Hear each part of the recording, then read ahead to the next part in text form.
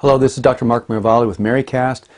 You know, there's a, there's a basic human appropriateness about acknowledging when someone has deeply suffered on your behalf. Uh, we honor heroes, firefighters for risking their life, uh, for preventing harm's way from attacking a citizen, uh, cases of people risking their lives uh, to save an individual uh, in, in several walks of society. It, it's, a, it's a common sense thing that we show gratitude by recognition, by acknowledgement when someone has suffered on our behalf.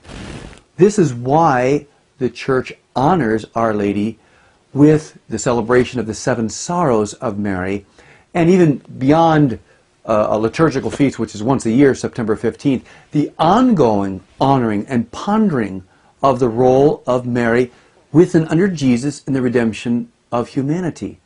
These seven sorrows are seven high points of Our Lady's role as the co-redemptrix. So the first sorrow is the presentation of the infant Jesus to the temple, where we have an explicit biblical reference. Uh, Simeon saying to Mary that her son would be a sign of contradiction and her heart too would be pierced.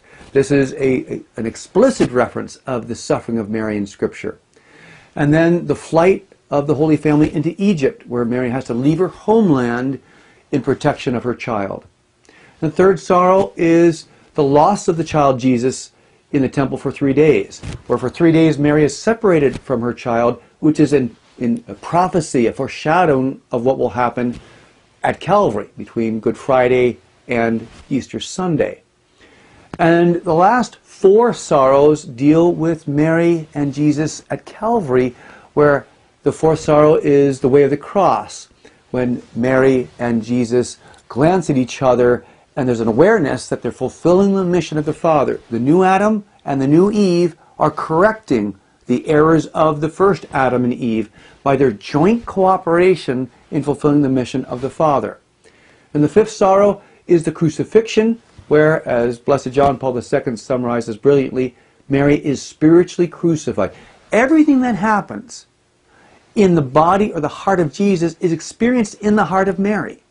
This is the teachings of the Second Vatican Council, Lumen Gentium 58, uh, Lumen Gentium 58 where Mary experiences the intensity of his suffering in her heart and that Mary lovingly consents to the immolation of the victim born of her. That means Mary not only endures Calvary, she says yes to Calvary. She says yes to the immolation of her son so that we could become sons and daughters.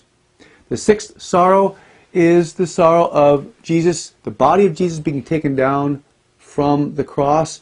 At that point, Mary can more fully express the full pains of her motherly heart because up to that point it was the Stabat Mater. It was the mother standing. It was the mother suffering with Jesus in an expression of unified courage after Jesus is dead, uh, she can more fully express the, the depths of sorrow of a mother's heart.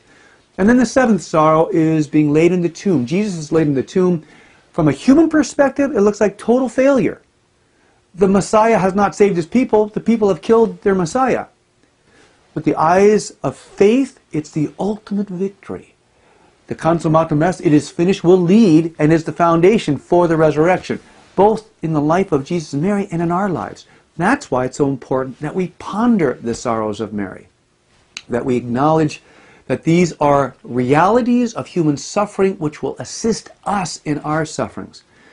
But it's also why the sufferings, the unique sufferings of Mary with Jesus, must be acknowledged. You know, once again, sometimes power is released by a profession of faith. We see this in Scripture several times. For example, with the institution of the papacy. Jesus asks, Who do you say that I am?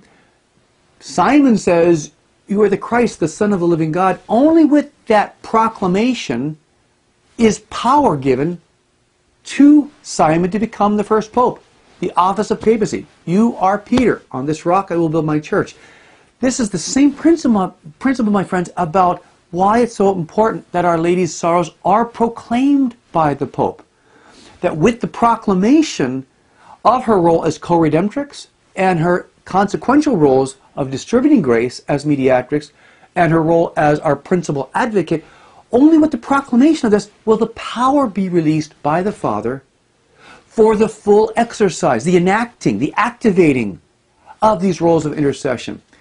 My friends, it's, it's gravely important. I want to read to you, this is from May 31st, 1954, from the approved, the church approved messages of the Lady of All Nations, given approval by the local bishop, May 31st, 2002. Our Lady says, quote, From now on, all nations will call me blessed. The Lady of all nations desires unity in the Holy Spirit of truth. The world is encompassed by a false spirit, Satan. When the dogma, the last dogma in Marian history, has been proclaimed, the Lady of all nations will give peace, true peace, to the world. The nations, however, must say my prayer in union with the church. They must know that the Lady of all nations has come as co-redemptrix, mediatrix, and advocate. So be it. These are the words of Our Lady to you and to me. We have action to do. We, we have cooperation to do. We're called to be co-workers with God and co-workers with Mary. What are we supposed to do? First of all, we're supposed to pray that prayer. If you will call us or email us, we will send you the prayer free of charge, regardless where in the world you are. Uh, this is important. Our Lady has, has said, whoever or whatever you are, I ask you to pray this simple prayer daily. So, the prayer, Lord Jesus Christ, Son of the Father, send now your Spirit over the earth. Let the Holy Spirit live in the hearts of all nations, that they may be preserved from degeneration, disaster, and war. May the Lady of all nations, the Blessed Virgin Mary, be our advocate. Amen. That's the prayer Our Lady wants you to pray, and me, every day. To get the prayer, call us. 740, this is a number for the United States, 740 937 2277. 740 937 2277. Or you can email us, mary at motherofallpeoples.com. Just tell us your name and address, how many prayer cards you want. We'll send them to you free of charge. The second thing Our Lady asks is that we petition the Holy Father. These are children encouraging a father to do something that heaven has asked for. It's not a power play. It's not a pressure play. It's done with obedience, but canon law itself says that we are obliged as members of the faith to let our Holy Father know, to let the pastors of the church know of something important in our minds and hearts. Peace is important, my friends. And you just heard Our Lady's words. Only with this proclamation will the power come. Only with the proclamation will Our Lady be able to fully exercise these roles to bring peace to the world. Look at the headlines, look at the realities of family life, Look at the moral degeneration. Look at the natural disasters. Look at the Middle East. Look at the wars and the rumors of wars. We need heaven's help.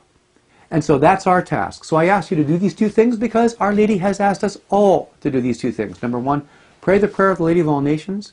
Get the prayer card from us. Or, or you can just get it online as well. You don't certainly don't have to get it from us. It's all free of charge. 740-937-2277 or mary at motherofallpeoples.com. Secondly, petition the Holy Father.